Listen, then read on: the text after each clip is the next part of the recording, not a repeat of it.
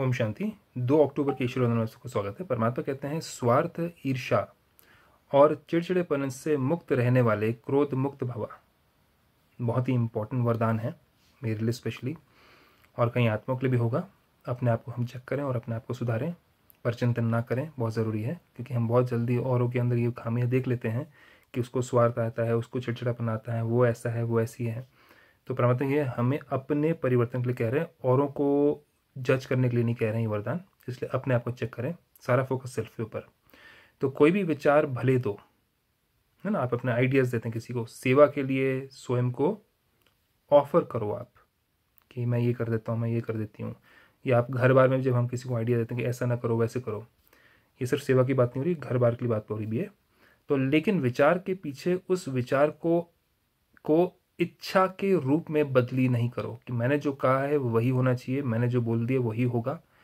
परमात्मा कहते हैं कि लेकिन विचार के पीछे उस विचार को इच्छा के रूप में बदली नहीं करो। मैंने सिर्फ़ आइडिया दी है, बाकी हो या ना हो उससे डिटैच्ड तभी कहते हैं, कर्म करो और कर्म के फल की इच्छा मत रखो। तो बोलना भी कर्म है तो आपने कुछ आइडिया दिया, वो भी कर्म है। सिर्फ़ एक्शन करना ही कर्म नहीं होता है, बोलना भी एक एक्शन है, इसलिए वो भी कर्म रहता है। कर्म करो, कर्म के फल की इच्छा ना रखो का अर्थ ये भी होता है कि उसके कोई इच्छा ना रखो कि वो हो जाए। जब संकल्प इच्छा के रूप में बदलता है, ये है बहुत इंपॉर्टेंट जब संकल्प, आपने कुछ बोला, सोचा, और आपने सोच करके उसको बोला, आपने आइडिया दिए, इच्छा के रूप में बदलता है, तब चिड़चिड़ापन आता है। चेक करें अपने आपको कि आपने कभी किसी को बोला कि इसको जाके ऐसे कर दो और उसने वो बात नहीं करी उस तरीके से तो चिड़चिड़ापन आ जाता है। लेकिन निस्वार्थ होकर विचार दो। क्योंकि हम ज़्यादातर, हमें चिड़चिड़ापन तब आएगा जब हम देखते हैं कि हमारा नुकसान हो रहा है, हमें फ़ायदा नहीं हो रहा है, हम, हमारे लिए कुछ गड़बड़ हो जाएगा, हमें परेशानी आ जाएगी। तो हम क्या होते हैं, हम स्वार्थ में होकर के हम क्या करते हैं, विचार देते हैं।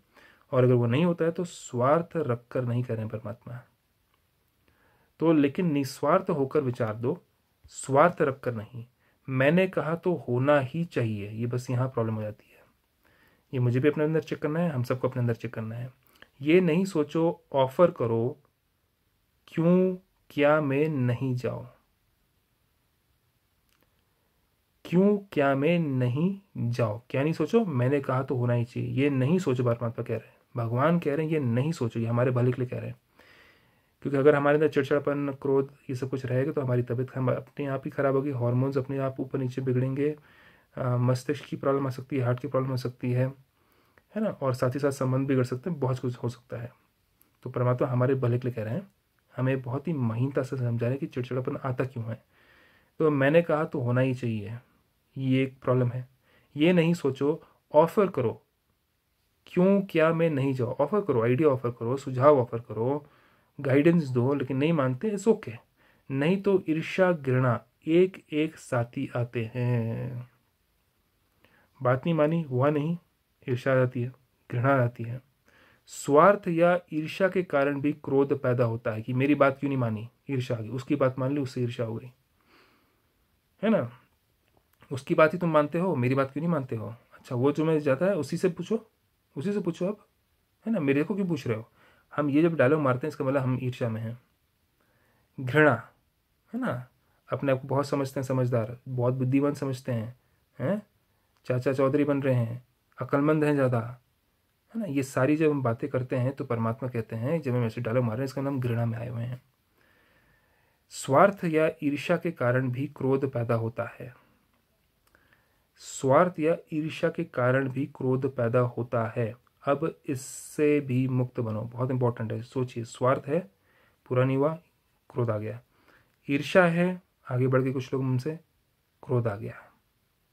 तब इससे भी, अब इससे भी मुक्त बनो, परमात्मा कहते हैं। इस वरदान को फिर से सुनिएगा।